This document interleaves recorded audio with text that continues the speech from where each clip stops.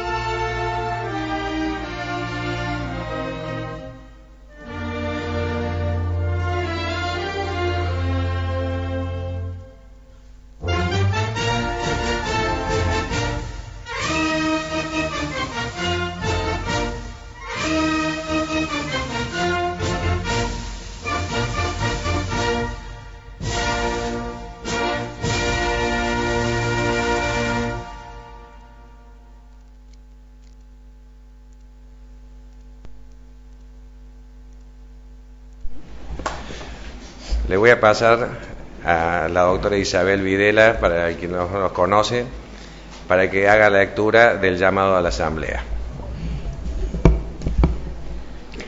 Visto lo dispuesto por el artículo 13, inciso I, de la Ley 8577 y la nota de elevación de los estados contables del ejercicio contable número 55, cerrado el 31 de diciembre de 2013, y memoria anual 2013, efectuada en el expediente 69.861-2014, de lo que resulta que ambos deben ser sometidos a la aprobación de la Asamblea Anual Ordinaria y considerando que dichos estados contables han sido confeccionados de acuerdo a las normas vigentes, ajustándose a las pautas impartidas oportunamente. Que el artículo 13, inciso I, de la Ley 8577, establece que es función del directorio redactar una memoria anual con reseña de la actividad desarrollada, que juntamente con el balance general de cada ejercicio someterá a la Asamblea para su aprobación. Que el artículo 17, párrafo primero, establece que las asambleas estarán constituidas por los miembros del directorio, el síndico y por el conjunto de delegados que representarán a la totalidad de los afiliados activos y pasivos. Que el artículo 18 establece que la Asamblea Ordinaria para el tratamiento de la memoria anual y estado contable será convocada en el primer trimestre de cada año. Que de lo expresado anteriormente se deriva en la necesidad de convocar a Asamblea Anual Ordinaria para el tratamiento de la memoria anual y balance general, considerándose oportuno hacerlo con fecha 4 de abril de 2014 a las 19 horas en el local de la Caja de Previsión Social para Profesionales de la Salud de la provincia de Córdoba, cita en calle 27 de abril 772 de la ciudad de Córdoba.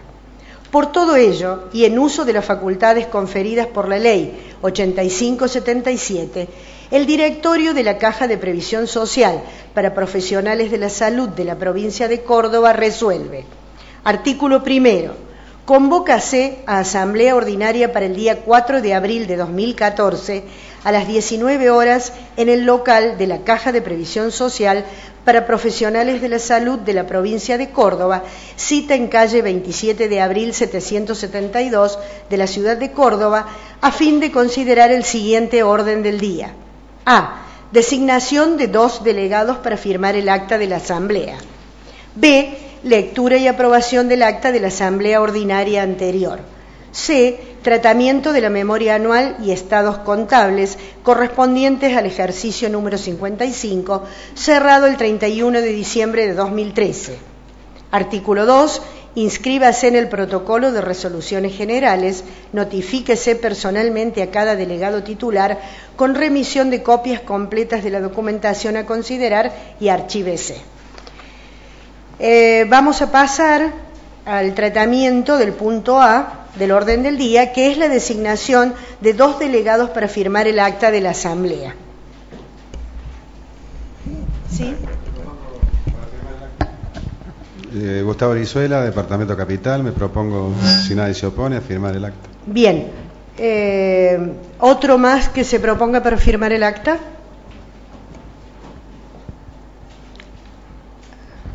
Julio Cosianzi, de Capital. Bien, eh, lo ponemos a consideración de la Asamblea.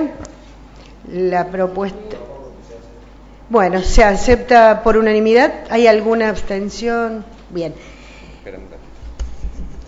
Les recuerdo que eh, la asamblea se está pasando online. Eh, para que salga el audio, pidan el micrófono, pero además para que quede grabado y pueda desgrabarse luego la asamblea. Cuando piden el micrófono se nominan y proponen o hacen el comentario que tienen que hacer. Seguimos. Bien, pasamos al punto B del orden del día, que es lectura y aprobación del acta de asamblea ordinaria anterior. Resumen, asamblea ordinaria 15 de noviembre de 2013. En la ciudad de Córdoba, a los 15 días del mes de noviembre del año 2013, Siendo las 19 horas, se realiza el primer llamado a la Asamblea para el tratamiento del presupuesto general para el ejercicio 2013. No habiendo quórum necesario, se esperan los 30 minutos que establece el artículo 19. Hay un error en, el resumen dice 9 y el artículo es 19, de la ley 8577. A las 19 y 30 horas se da inicio a la asamblea con 65 delegados presentes. ¿Sí? Momento, momento. Patricia Romagnoli Capital, que propongo que ya que todos hemos recibido la lectura por correo, propongo pasarla por, eh, darla por leída. Bien, ponemos a consideración de la Asamblea entonces la propuesta de la doctora Romagnoli. Bien, ¿alguno en contrario? No, entonces por unanimidad se da por aprobada el acta de la Asamblea Ordinaria anterior. Pasamos al tratamiento de la memoria del punto C, tratamiento de la memoria anual y estados contables correspondientes al ejercicio 55, cerrado el 31 de diciembre de 2013. Memoria. Ejercicio 1 de enero 2013, 31 de diciembre de 2013. Señores asambleístas, resumiendo las distintas acciones llevadas a cabo durante el ejercicio comprendido entre el primero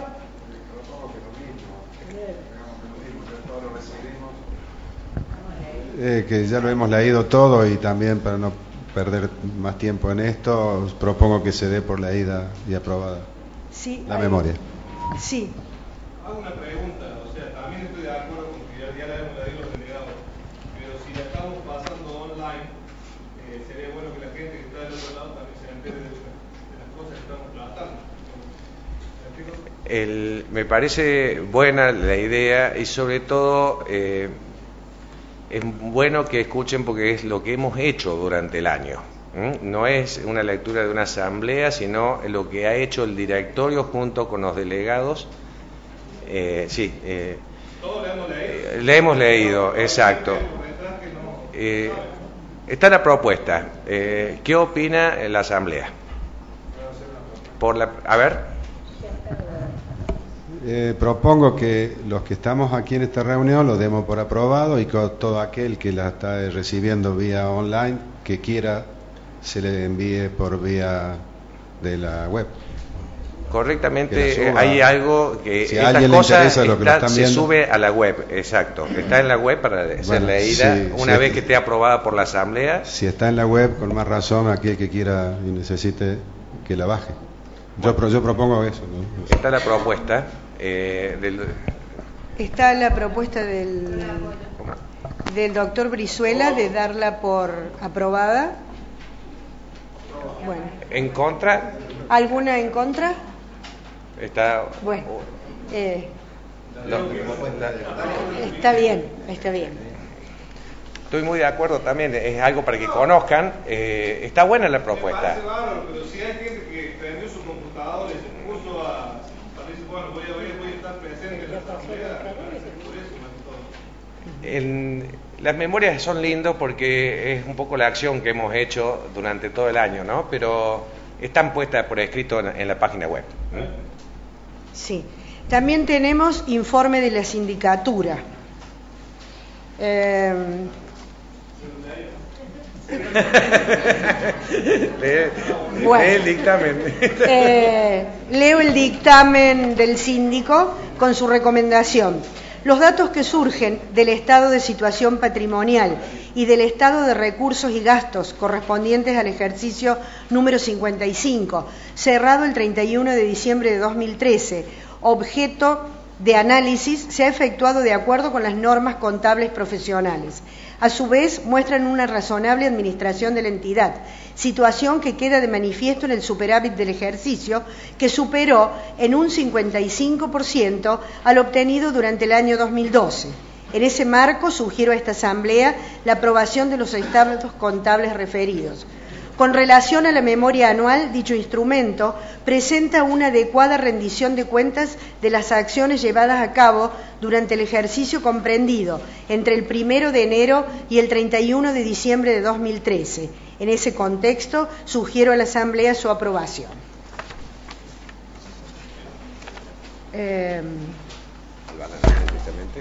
sí. Entonces vamos a dar tratamiento a los estados contables correspondientes al ejercicio número 55. Eh, No, el doctor Origlia, ¿no? el contador Origlia. Origlia, ¿dónde está? Bien.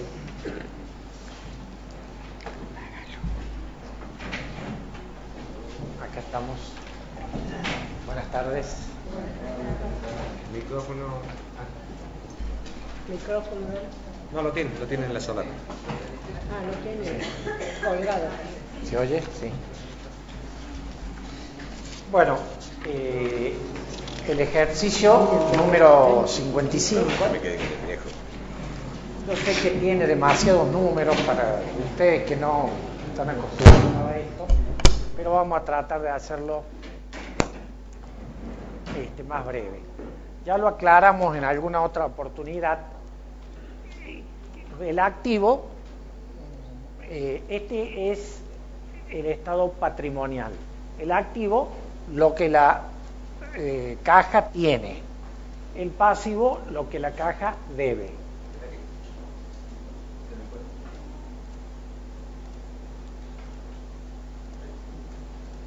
Bueno, activo corriente es lo que se puede hacer, digamos, líquido, o sea, hacer plata, para ser concreto, dentro del año a partir del 31 de diciembre. Y el no corriente es el que necesitaría más de un año para hacerse. Lo mismo el pasivo corriente, lo que hay que pagar dentro del año, y el pasivo no corriente, que son previsiones que son por las dudas, a lo mejor no hay que pagarlas nunca, ¿no es cierto? Bueno, las disponibilidades es eh, lo que hay en efectivo y en los bancos en cuenta corriente. Prácticamente, eh, si bien el, el aumento es entre el año 2012 y 2013 un 62%, es un monto muy chico en comparación con los montos que vienen a continuación. Aquí pasan de 5 millones a 9 millones, pero eso varía mucho porque es lo que se va moviendo diariamente, digamos. Después tenemos las inversiones, que son, lo pueden ver si quieren en la nota 3, está el detalle. En el balance están los números de nota y está la nota 3. Las inversiones que son, ah, en concreto, los plazos fijos y los títulos públicos subieron de 422 millones a 633 millones. O sea, un prácticamente un 50%, un 49, 91. Un gran aumento, ¿no es cierto? Mucho más que la inflación. Los créditos son también inversiones, pero en realidad son préstamos a los afiliados. Préstamos por cuotas que han pedido para ponerse al día, préstamos prendarios, están en la nota 4. Ahí, ahí tienen el detalle. Esos subieron de 164 millones a 201, un 23%. O sea, el total del activo corriente subió un 42%, aumentó un 42%, es decir, por encima de la inflación, de 592 millones a 844. Digamos, en cualquier empresa comercial común esto sería brillante, ¿no es cierto? En, como esto tiene otra finalidad que es la jubilación, hay que hacer otros análisis que después lo hacen un especialista que, son, que se llama actuario. Ellos calculan las posibilidades de pago y por cuántos años tiene vida útil la caja. Los activos no corrientes son créditos que se van a cobrar a más de un año de plazo. Y los bienes de uso, que prácticamente se mantienen, que son este edificio, los terrenos de la calle Belsarfils, que no se han revaluado, se han dejado prácticamente al valor constante, con un criterio prudencial. En definitiva, el total del activo aumentó de 654 millones a 1.320 millones. ¿Eh? Ah, perdón, 910.320. En realidad es un aumento del 39%. El activo subió concretamente un 40%. Vamos al pasivo, lo, lo que hay que pagar de proveedores y de distintas cosas, ¿no es cierto?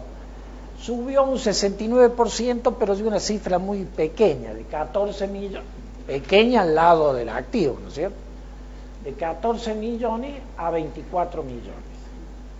Y el pasivo no corriente son las previsiones, que en realidad las previsiones son, no son deudas, sino que son, digamos, lo que hay que cobrar, uno constituye un pasivo por la duda no se cobre, que al aumentar lo que hay que cobrar, aumenta también las previsiones. El pasivo corriente aumentó de 73 a 92 millones. Lo que es importante o interesante es ver el patrimonio neto, que es la diferencia entre el activo y el pasivo. Aumentó de 566 millones a 792. Aumentó un 35% el patrimonio neto, que es lo que, digamos, si, hiciéramos un- una abstracción de que tomáramos todo el activo y pagáramos todo el pasivo, nos quedarían estos 792 millones. Es decir, es un aumento bastante considerable que se, ha eh, ocurrido en este ejercicio. Vamos a pasar a los recursos y los gastos. Cargos por afor- recursos, es decir, los ingresos, Cargos por aporte de afiliados son los que pagan ustedes de cuota mensual, que pasó de 199 millones a, a 245, un aumento del 23%.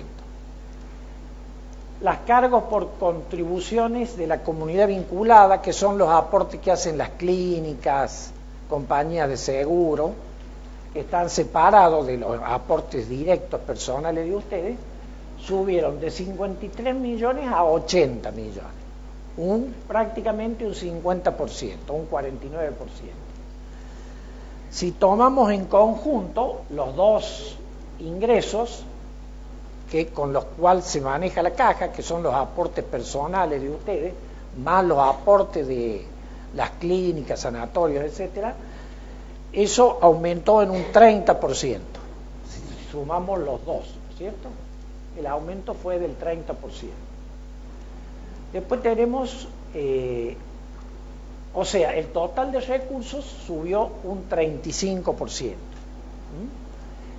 Y los otros recursos, perdón, se me pasó, los otros recursos que subieron de 131 millones a 195, el grueso prácticamente todos son intereses cobrados por depósitos a plazo fijo y el revalúo de los títulos públicos que tiene la caja, ¿cierto? Que han ido aumentando en su valor porque son- algunos son...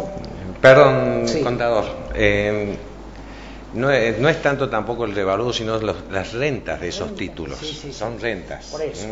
eh, El por revalúo lo vamos a notar muchísimo Claro. en, en lo que fuera enero del 2014, para el balance próximo, porque estamos hablando de 2013, ¿no? Eh, Sí. el- Quiero, perdóneme, eh, contador, hacer una aclaración para lo que la interpretación propia mía, que por ahí sirve y no es la parte más contable, ¿no?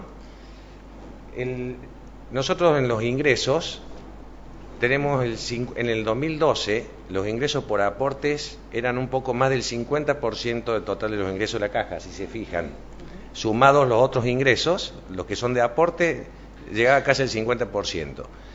2013 superamos con las rentas y otras inversiones, ¿no es cierto? Y las contribuciones de terceros superamos el 50%. Cambiamos, invertimos la relación. el aumento del 23%, que es eh, casi exacto, de la diferencia entre el 2012 y 2013 en cuanto a los ingresos por afiliado, eso se debe un 20% a los aumentos que hicimos de los aportes en abril del 2013, que fue justo el 20%. Los tres puntos de diferencia para hacer el 23 se debe a los nuevos afiliados. Esto demuestra que la morosidad está exactamente igual. ¿Me entienden? Es Bueno, y hemos mejorado muchísimo la- el tema de, de inversiones y el cobro de las contribuciones de, las, de los terceros. Listo, continúe, contador. Sí. No sé si le sirvió un poco.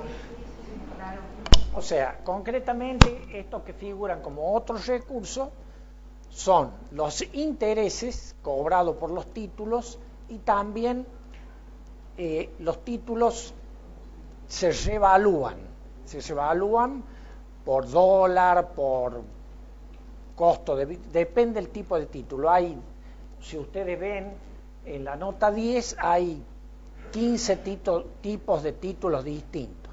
El festival de los títulos, dirían.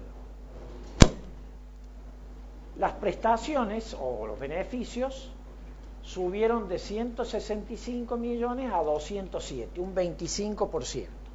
¿Mm? Que si lo comparamos con los aportes personales son un poquito más altos, pero si lo comparamos con los total de aporte, los personales y los de las clínicas, son un 10% más bajo que los ingresos en concepto de aporte de los de ustedes, de personales y de las clínicas. Los gastos de funcionamiento subieron de 15, millo- de 15 millones a 19 prácticamente, un 23%. Esos son prácticamente sueldos, sueldos, cargas sociales, el grueso de eso, que también están en la nota 10, si lo quieren ver, este es el detalle. Otros gastos, bueno, son los gastos de funcionamiento, la luz, el teléfono, eh, los gastos de limpieza, la guardia, todos los pequeños gastos que al ser muchos y al ser la caja grande son importantes, bueno, significan 5 millones de pesos. Y los quebrantos por previsión que suben de 53 a 62, eh, vuelvo a repetir, la previsión en realidad no es un quebranto de uno que haya pagado algo que se, que se perdió. Es algo que uno reserva, digamos, en cierta forma, por las dudas haya alguna pérdida. Para absorberla, uno constituye una previsión porque es lo que aconsejan las normas contables eh, establecidas por las costumbres y las habituales.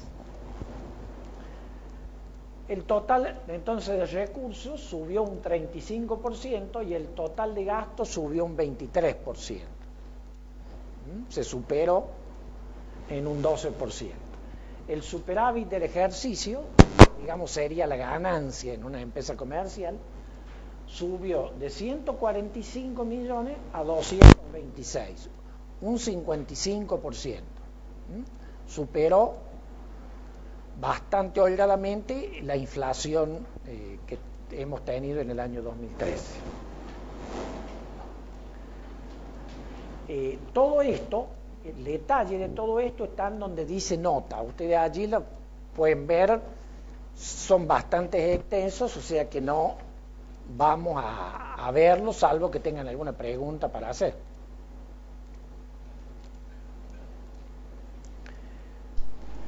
¿Alguna pregunta puntual con respecto a esta primera presentación? ¿Quieren ir a detalles de ya sea recursos o de gastos de funcionamiento? Ahí los gastos de funcionamiento son fijos, los marcan las paritarias, porque la mayoría los llevan los sueldos. Sí.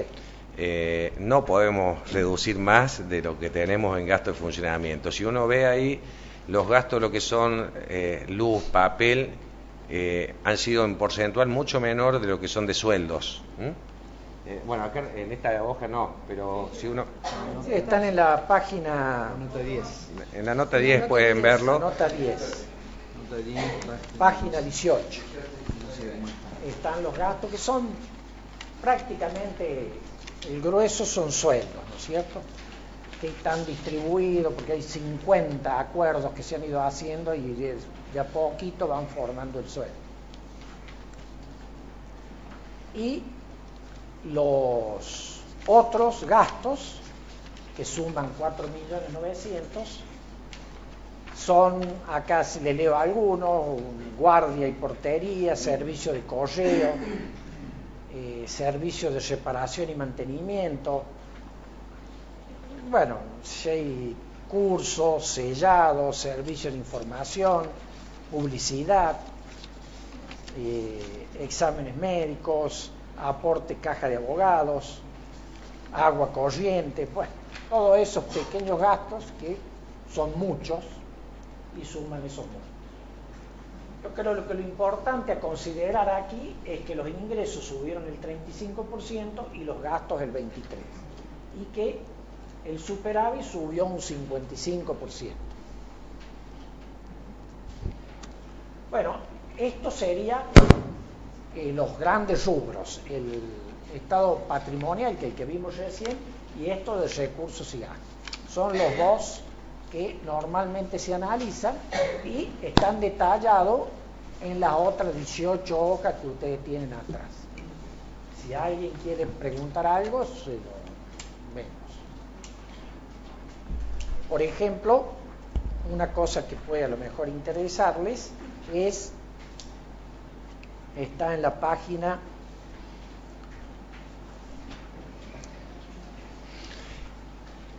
Yo le hago un comentario mientras lo busca el contador en cuanto a esta presentación en esta página que ha presentado. A nosotros los gastos han subido y han acompañado la inflación del 2013, un 23%. Eh, por supuesto, ha habido gastos que han subido más, que han sido las paritarias, los sueldos, ha habido un porcentaje más alto. Eh, es llamativo en el balance eh, en donde nosotros hemos podido hacer eh, una, un, gran, una gran recaudación, ya sea por rentas o en terceros, que subimos en un promedio un 48, un 49%. O sea, en los ingresos fueron un 35% más y en los egresos solamente un 23%. Esa diferencia es muy llamativa que nos da a favor el balance general, ¿no es cierto? Eh, la gestión nuestra en cuanto eh, a esto, eh, en, cuanto a los ingresos, que nosotros es un promedio, ¿no es cierto?, de otros, en los otros recursos en cuanto a las inversiones, podíamos mejorar más, pero la diversificación de las inversiones hace que no corramos tantos riesgos, ¿no es cierto? El, es muy notable lo que aumentaron las inversiones en los créditos que se otorgan a los afiliados. Acá están como inversiones, pero es un beneficio para ambos. Nosotros también sacamos un beneficio junto con el afiliado. Y han aumentado los créditos un 100%. por ejemplo, eso está en la página 11.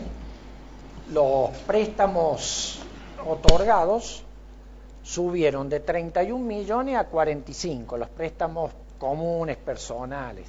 Y los préstamos prendarios subieron de 22 millones a 46 millones, un 104%, los préstamos que se hacen para la compra de autos. ¿Cierto? O sea, eh, los préstamos a los afiliados por distintos motivos subieron un 70%, que eso se lo considera una inversión porque deben un interés.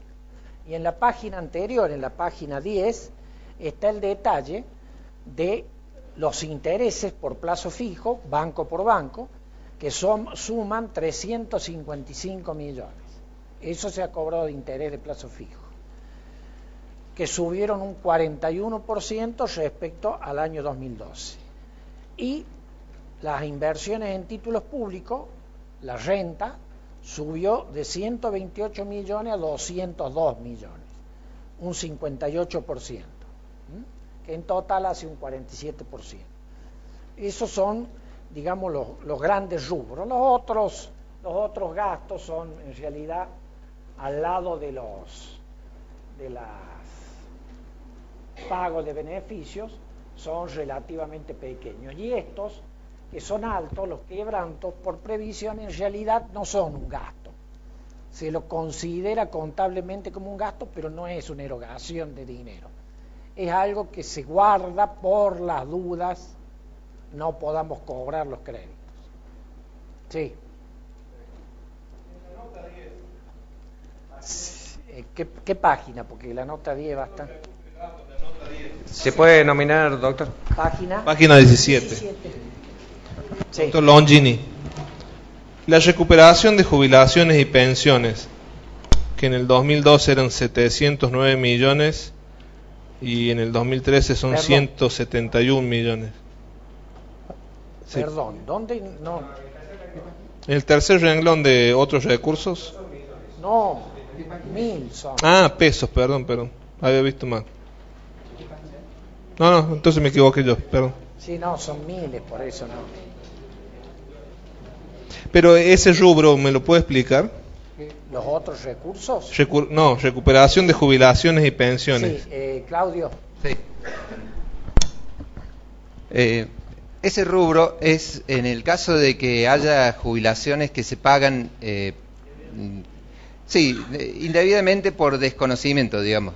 Eh, porque supongamos, eh, fallece un jubilado.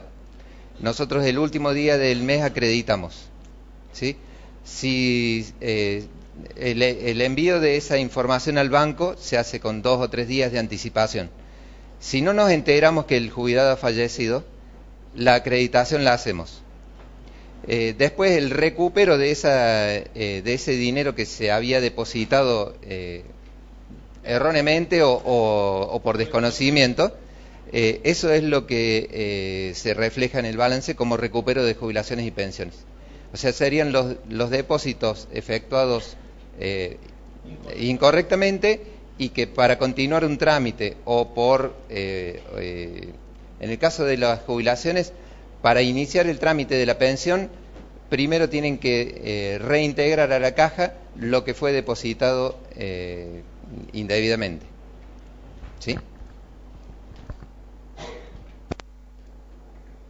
Claro, en el monto de jubilaciones que se pagan, 207 millones, esto, este recupero realmente es prácticamente, no llega al 1 por, al, por mil. Es el motivo por lo cual se hace la supervivencia, pero no la podríamos hacer todos los meses. Perdón, doctor Busi. Eh, en la página, en la nota 12, eh, gasto de funcionamiento, quisiera saber las, eh, las siglas ABAPRA, qué es lo que sería eh, respecto al, al personal. Sí, la Asociación de Bancos Privados de la República Argentina. Es la, eh, la Cámara. eh, hay, hay tres cámaras. Perdón. Eh, en, en la República Argentina hay tres cámaras de bancos, digamos, son la, la parte patronal. ¿sí?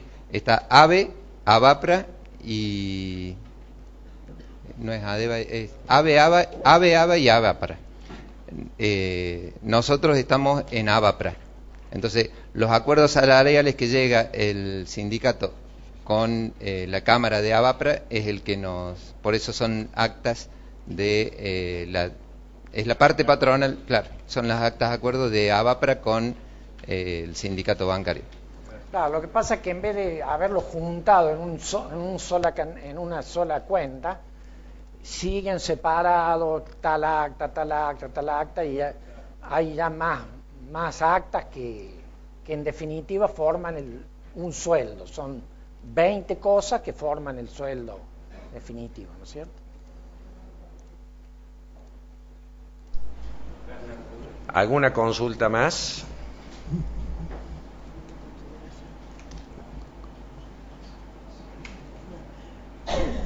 Ponemos entonces a consideración de la Asamblea la aprobación de los estados contables. ¿Alguna abstención? No.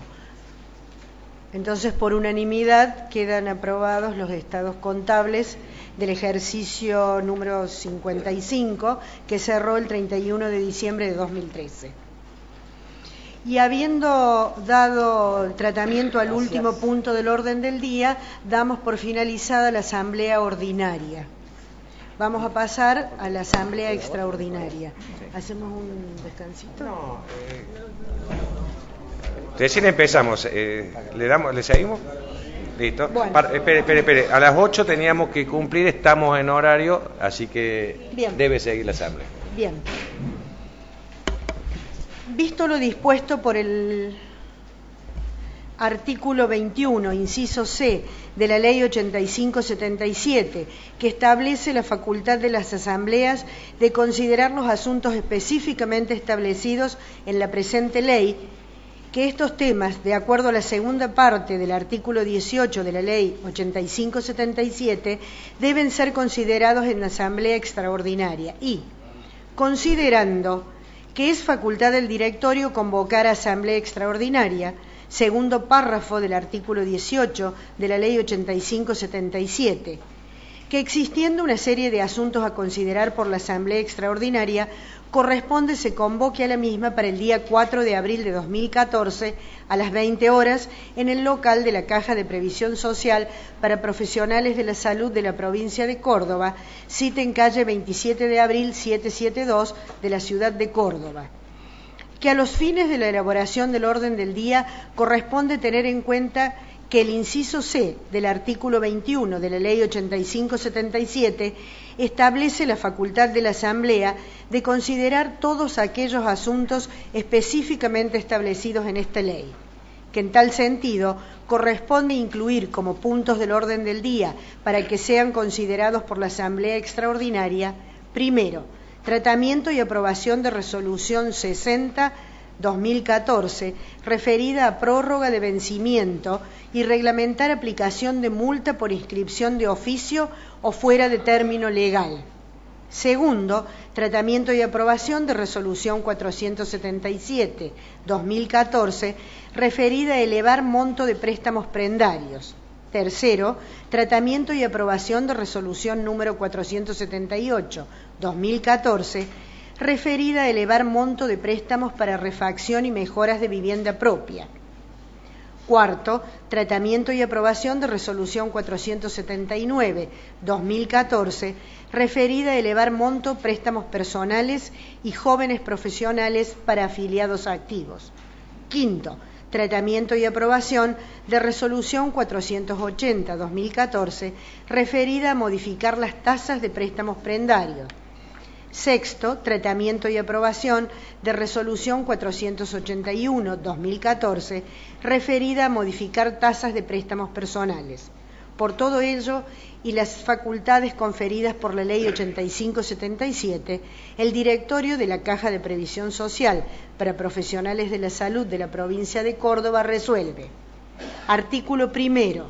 Convócase Asamblea Extraordinaria para el día 4 de abril de 2014 a las 20 horas en el local de la Caja de Previsión Social para profesionales de la salud de la provincia de Córdoba, cita en calle 27 de abril 772 de la ciudad de Córdoba, a fin de considerar el siguiente orden del día. A. Designación de dos delegados para firmar el acta de la Asamblea. B. Lectura y aprobación del acta de la Asamblea Extraordinaria anterior. C. Tratamiento y aprobación Resolución General número 60-2014 referida a prórroga de vencimiento y reglamentar aplicación de multa por inscripción de oficio o fuera del término legal. D.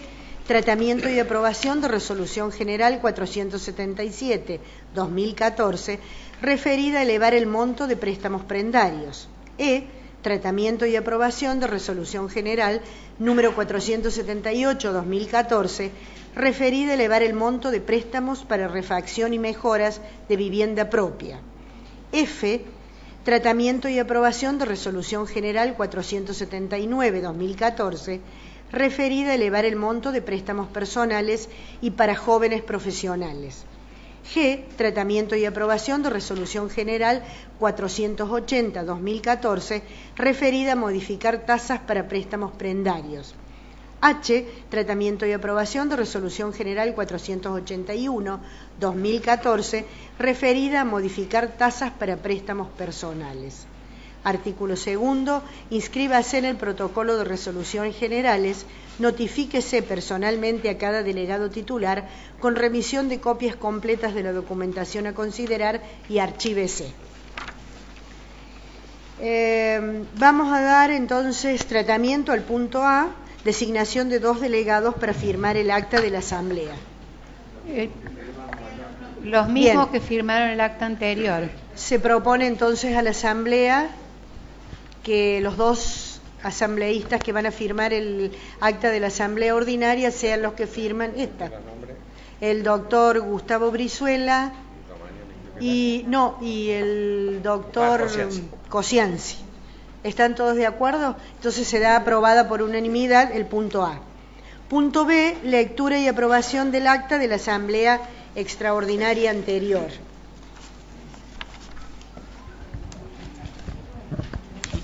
Sí. Leonel pide la palabra. Lener de Capital.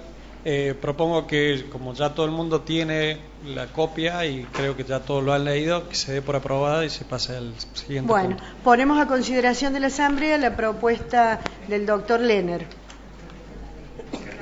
Que se apruebe. Por unanimidad, entonces se aprueba el punto 2. Punto C, tratamiento y aprobación de resolución general número 60-2014 referida a prórroga de vencimiento y reglamentar aplicación de multa por inscripción de oficio o fuera de término legal. Voy a hacer una introducción y de acuerdo a eso eh, se escucha alguna propuesta, una consideración de la Asamblea. Esta resolución eh, es motivo de la aplicación que de las multas que se aprobó por resolución en la Asamblea anterior para lo- aquellos personas que no estaban afiliados y se afiliaban tarde o se afiliaba de oficio.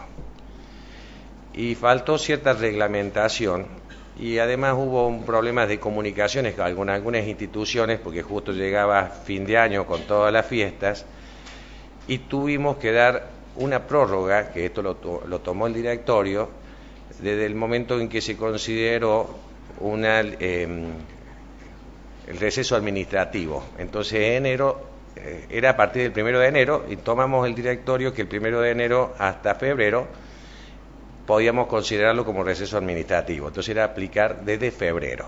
Nos dio tiempo a comunicar a todos aquellos matriculados que, o colegios que nos informaron, porque no todos los colegios informaron el padrón, entonces algunos colegios informaron y con muy poco tiempo notificamos.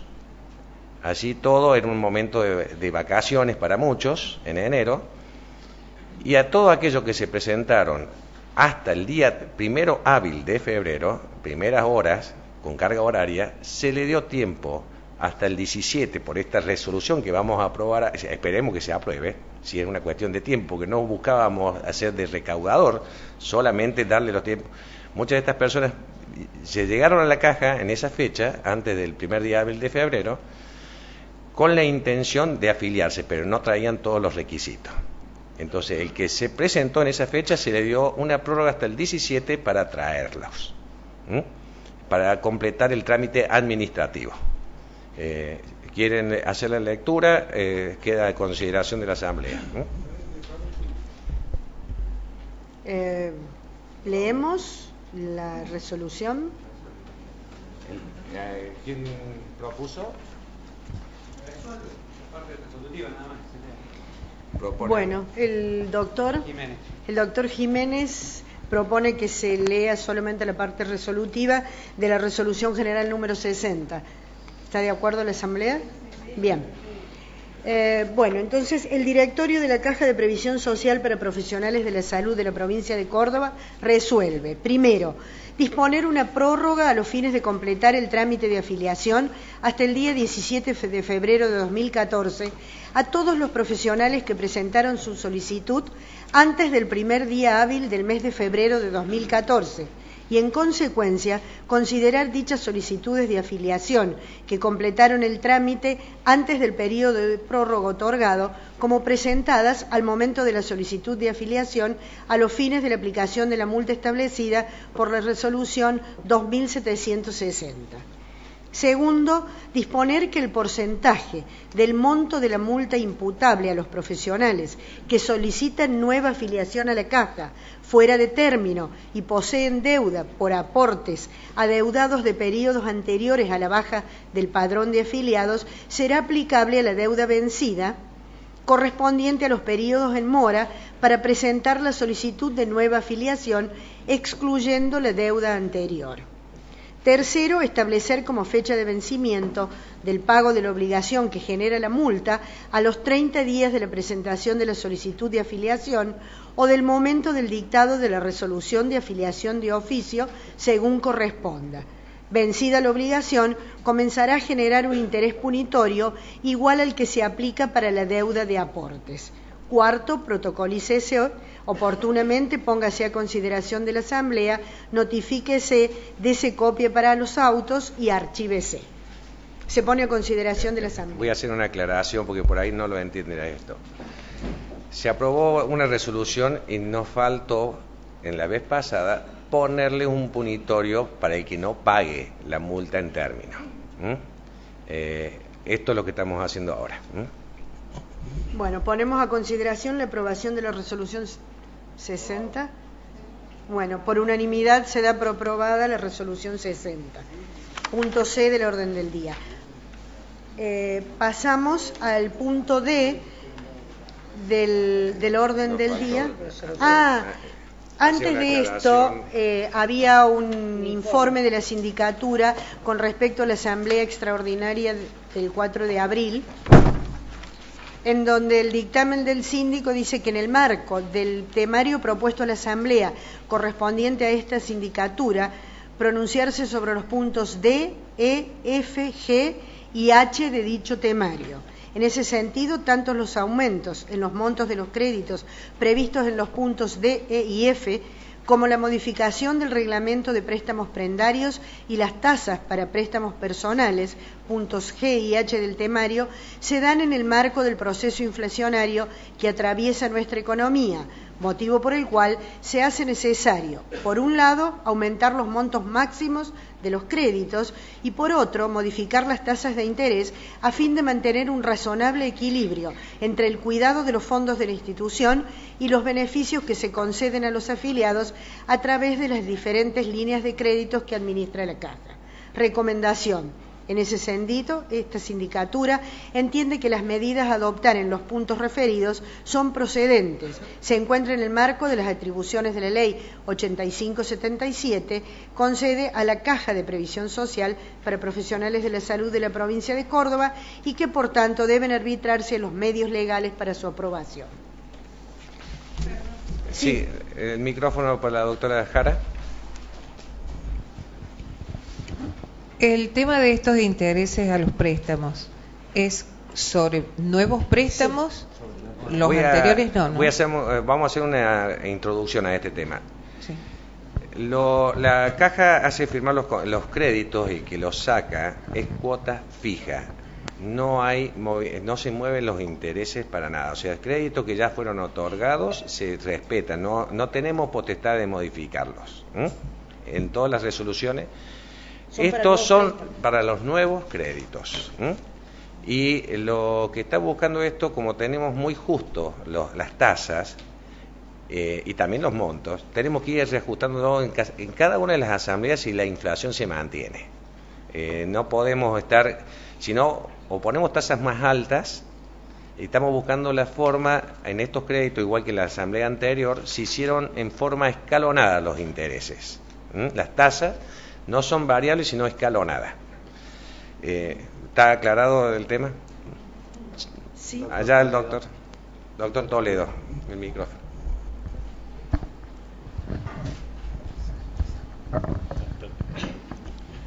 Eh, cuando dijiste que algunos colegios no respondieron o no respondieron todos, vos, yo puedo saber cuáles son los que no respondieron o por lo menos saber cómo respondió el colegio nuestro.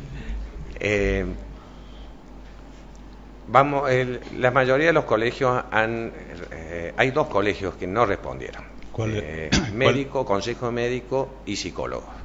Bueno, Los demás, todos han, eh, digamos, las respuestas han sido para evitar las multas de alguna manera a sus matriculados. Lamentablemente el hilo se tiene que cortar por, el más, por la parte más fina, que es el afiliado, eh, que todavía no está afiliado acá, son matriculados de sus colegios.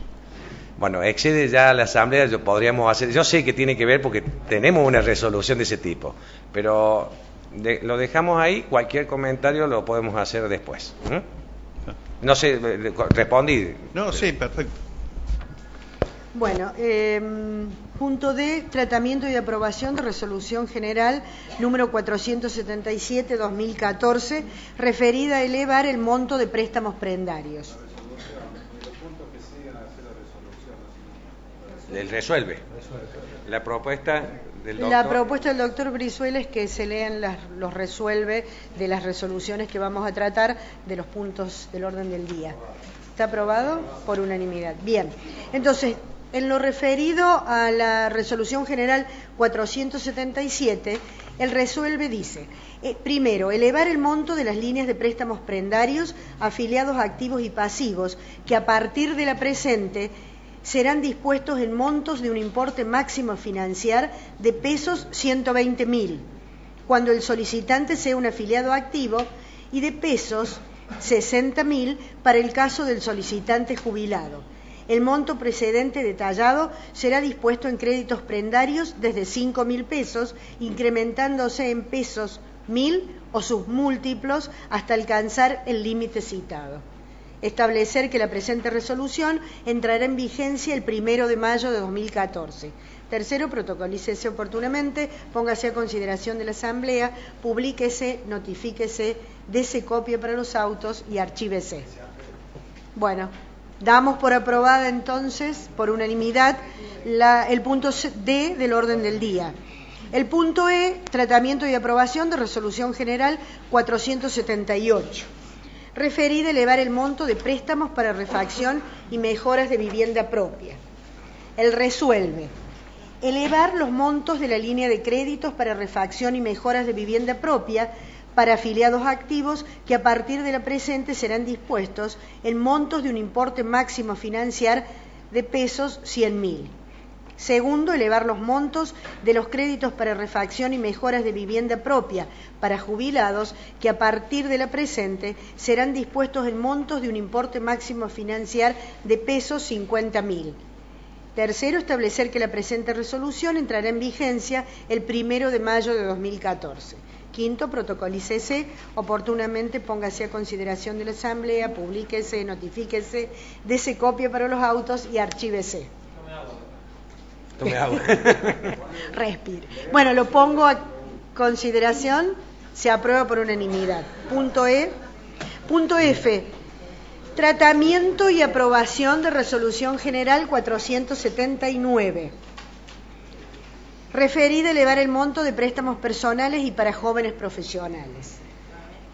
Resuelve primero elevar los montos de líneas de créditos a afiliados activos con garantía de otro afiliado activo, que a partir de la presente serán dispuestos en montos de un importe máximo a financiar de pesos 50 mil. Segundo, establecer como monto máximo a entregar de las líneas de créditos a afiliados activos con garantía de terceros no afiliados a esta caja el 75% del monto máximo a financiar en el caso de créditos a afiliados activos con garantía de otro afiliado activo. Tercero, elevar los montos de los préstamos personales para jóvenes profesionales que a partir de la presente serán dispuestos en montos de un importe máximo a financiar de pesos 25 mil. Cuarto, establecer que la presente resolución entrará en vigencia el día primero de mayo de 2014. Quinto, protocolícese, oportunamente póngase a consideración de la Asamblea, publíquese, notifíquese, dese copia para autos y archívese. ¿Se aprueba la resolución? Bien, por unanimidad entonces, eh, punto F. G, tratamiento y aprobación de resolución 480, referida a modificar tasas para préstamos prendarios.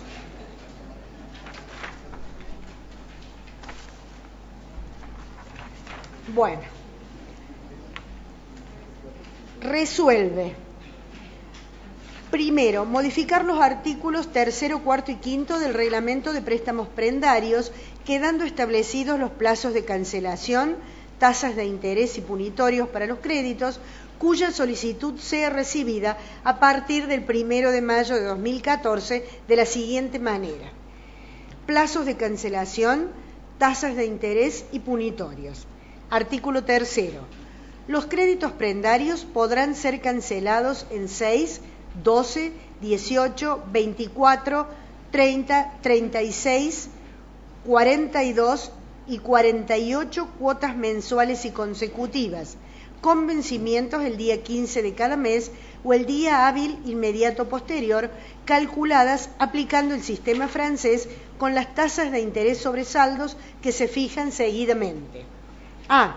Hasta 12 cuotas, un 2% efectivo mensual. B. Hasta 24 cuotas.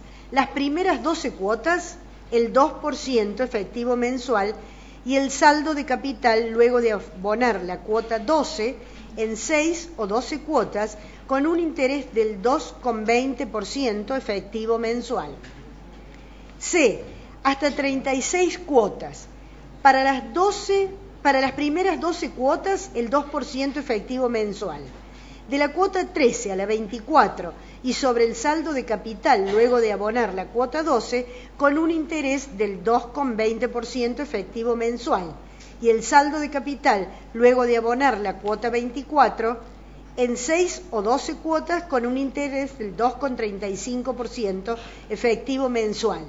El interés a ser aplicado sobre el saldo de capital después de abonar la cuota 24 para el cálculo de las cuotas 25 a 36 podrá ser modificado por resolución del directorio, reduciéndola o elevándola para ajustarla al mercado, teniendo como límite superior el valor de la tasa Badler bancos privados más un 10%. D. Hasta 48 cuotas. Para las primeras 12 cuotas, el 2% efectivo mensual. De la 13 a la 24 y sobre el saldo de capital, luego de abonar la cuota 12 con un interés del 2,20% efectivo mensual. De la cuota 25 a la 36 y sobre el saldo de capital, luego de abonar la cuota 24 con un interés del 2,35 efectivo mensual y el saldo de capital, luego de abonar la cuota 36 en 6 o 12 cuotas con un interés del 2,50 efectivo mensual el interés a ser aplicado sobre el saldo de capital después de abonar la cuota 24 para el cálculo de las cuotas 25 a 48 podrá ser modificado por resolución del directorio, reduciéndola o elevándola para ajustarla al mercado, teniendo como límite superior el valor de la tasa Badler bancos privados más un 10%. Artículo cuarto. Establecer el derecho a cancelación anticipada de créditos prendarios para el caso de que el titular del préstamo prendario solicite de manera anticipada la cancelación de tres o más cuotas del mismo, un 2% sobre el saldo de capital contenido en las cuotas adeudadas, que será imputado a la constitución de un fondo para saldo deudor.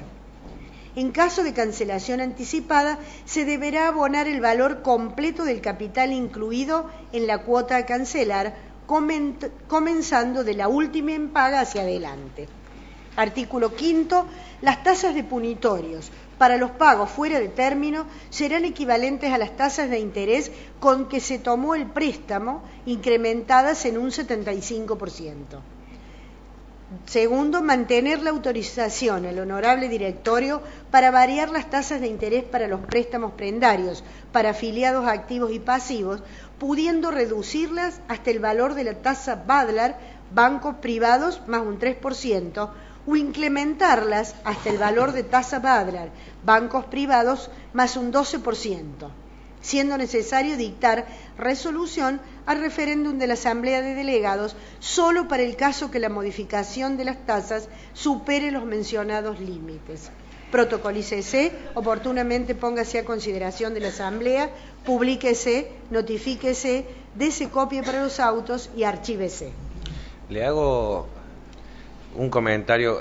Estas tasas podrían haber sido variadas por el directorio eh, porque así estaba dispuesto, no ha habido ningún cambio en la resolución esta con respecto a las anteriores, salvo por la variación de las tasas, que ya estábamos habilitados el directorio, pero nos gusta, eh, lo vamos a usar solo en caso de emergencia, preferimos que sea aprobado por asamblea. La única modificación en esto es que después de las 24 cuotas, si no me equivoco, puede ser reajustado los créditos prendarios según tasa Butler. Eh, en la época de inflación que vivimos, no podemos estar dando créditos después de dos años a cuota fija. ¿Estamos de acuerdo? Eso es la única variación que tiene esta resolución con respecto eh, a las otras, a las de años anteriores. Sí, son las que dan los bancos en plazo fijo. A ver, Claudio, ¿le explicas, ¿le explicas vos qué, qué significa un tasa bata?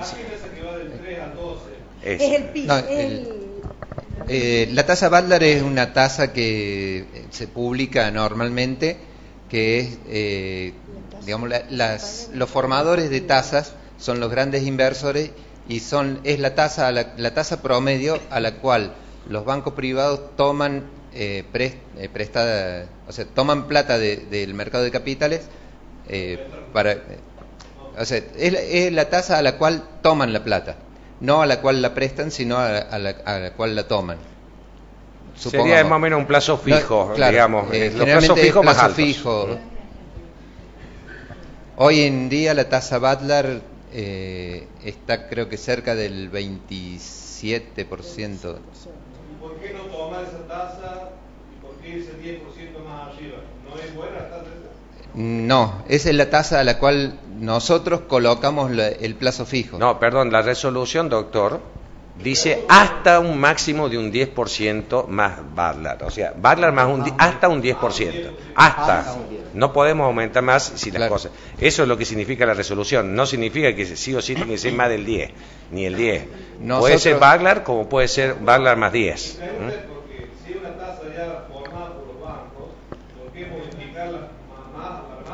Porque esa es la tasa a la cual el banco nos recibe las colocaciones a plazo fijo a nosotros. Miren, eh, entonces vamos... nosotros tenemos que tener el igual o más rendimiento, porque en, eh, en una colocación a plazo fijo eh, prácticamente no tenemos riesgo. El único riesgo sería que volviera un corralito, una cosa así. Pero eh, prácticamente es una colocación sin a riesgo cero, una colocación a plazo fijo. Entonces, nosotros prestarle a un afiliado hay un cierto riesgo y una cierta morosidad que está controlada, pero eh, no es lo mismo que poner a plazo fijo. Entonces, la diferencia está entre eh, la tasa Butler, nosotros por los montos, como vieron... A ver, eh, Claudio, le voy a decir algo más práctico. Nosotros hoy tenemos un plazo fijo que nos están pagando arriba del 30% y el Butler está en 27%. ¿Es así? Estaríamos prestando a pérdida, tendríamos mejor inversión en un plazo fijo que dársela al afiliado. Creo que es una mala inversión. Pero además, el afiliado, esto está hablando aparte arriba de las 24 cuotas. Eh, tiene que salir una resolución del directorio para recién aumentarlo, o sea, no es necesariamente, tiene que irse muy lejos, es, es salvaguardar los fondos que prestamos. Eso es lo que está buscando esta resolución. Eh, ante una situación que en un banco eh, la renovación de un plazo fijo es más ágil y tenemos la liquidez en un momento que vence.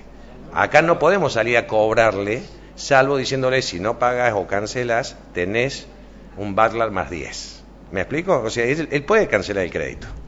¿Está aclarado? Aparte creo que hay otra cosa más, es tratar de cubrirnos que no pase lo que pasó en noviembre, cuando quedamos con una tasa totalmente desfasada que era del 30 y pasó al, 60, al 59 o al 62 uh -huh. en alguna financiera y quedamos totalmente sí. desfasados. Uh -huh. Así es.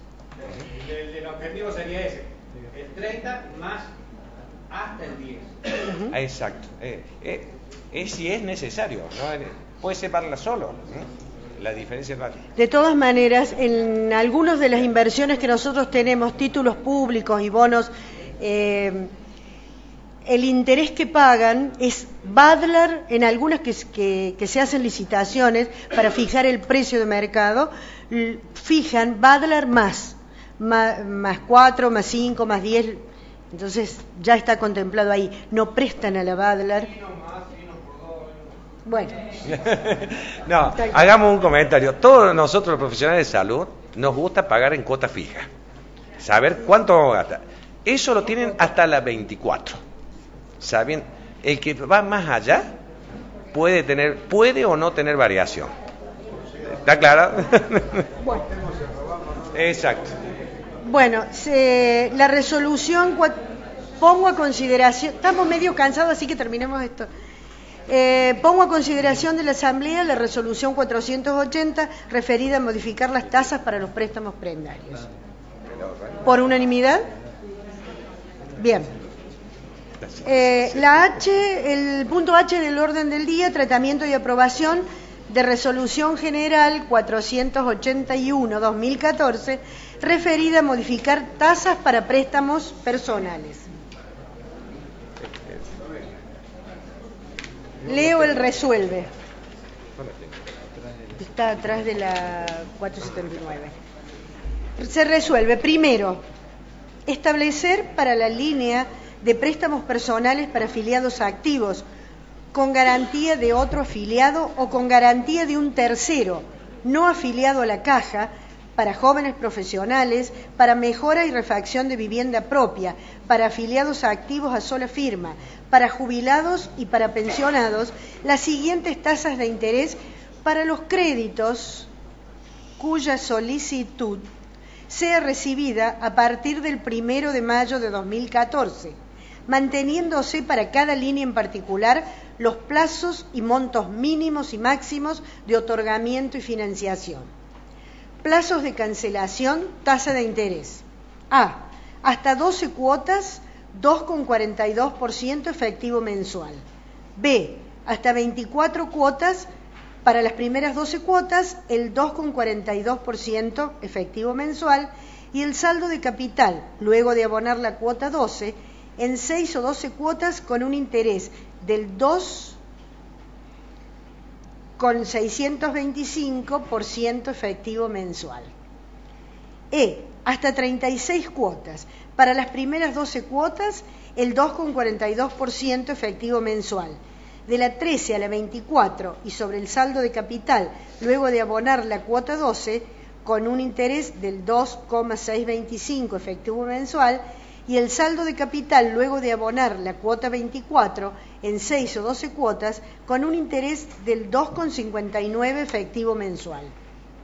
Segundo, establecer para las líneas para las líneas de préstamos personales para afiliados activos con garantía de otro afiliado o con garantía de un tercero no afiliado a la caja, para jóvenes profesionales, para mejoras y refacción de vivienda propia, para afiliados activos a solo firma, para jubilados y para pensionados, que las tasas de punitorios para los pagos fuera de término serán las equivalentes a las tasas de interés con que se tomó el préstamo, incrementadas en un 75%. Cuarto, protocolícese oportunamente, póngase a consideración de la Asamblea, publíquese, notifíquese, dese copia para los autos y archívese. Se pone a consideración de la Asamblea. ¿Aprobada por unanimidad? Bien. Con esto damos por terminada la primera de las asambleas extraordinarias. Y ahora tenemos otra extraordinaria. ¿Por qué? De Yapa. Porque cuando se hizo el orden del día de la asamblea extraordinaria, hubo un pequeño error. Nos olvidamos de poner. El ajuste para los jubilados. En esto no. Entonces viene. en- bueno, comenzamos la segunda asamblea extraordinaria. Visto lo dispuesto, visto lo dispuesto,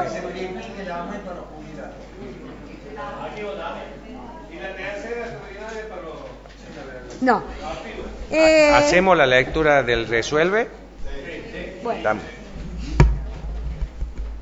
El directorio de la Caja de Previsión Social para Profesionales de la Salud de la provincia de Córdoba resuelve.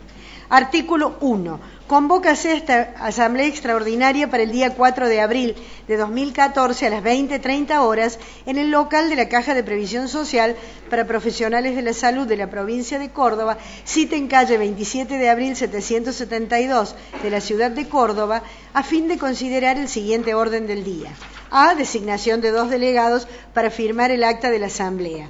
B. Tratamiento y aprobación de resolución general número 476-2014, referida a incremento escalonado del haber jubilatorio básico con vigencia a partir del primero de julio de 2014, primero de agosto de 2014, primero de septiembre de 2014 y primero de octubre de 2014.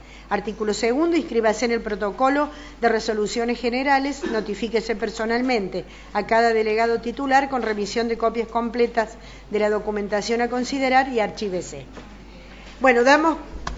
Un momentito. Eh, Para algunos que es la primera vez que asisten a estos refuerzos, a estos aumentos para los jubilados, hay una tabla en el considerando. Eh, le voy a hacer la explicación que hay dos porcentajes, un porcentaje de aumento y un porcentaje de refuerzo extraordinario. Actualmente todavía los activos estamos pagando un refuerzo. Estas tablas son para mover y redondear los aportes, para no andar con centavos. Entonces se mueven ese refuerzo para abajo para arriba, eh, de acuerdo, para redondear. ¿Está aclarado esa tabla? Bueno, eh, damos la de- cumplimiento al punto A del orden del día, designación de dos delegados. Eh, firman el doctor Brizuela y el doctor Cosianzi. Eh, punto B, tratamiento y aprobación de resolución número 476-2014. Eh, en particular también tenemos un dictamen con la recomendación del síndico. Eh, en el marco del temario propuesto para esta asamblea extraordinaria corresponde a la sindicatura pronunciarse sobre el punto B de dicho temario. En ese sentido, con relación al punto B, esta sindicatura entiende que las medidas a adoptar en los puntos referidos son procedentes. Se encuentran en el marco de las atribuciones de la Ley 8577 que la ley 8577 concede la Caja de Previsión para Profesionales de la Salud de la provincia de Córdoba y que por tanto deben arbitrarse los medios legales para su aprobación. Bueno, eh, leemos el resuelve.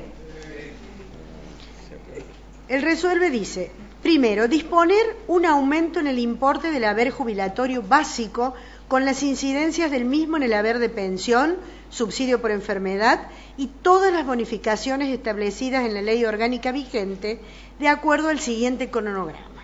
A. Con vigencia a partir del 1 de julio de 2014, 3.550.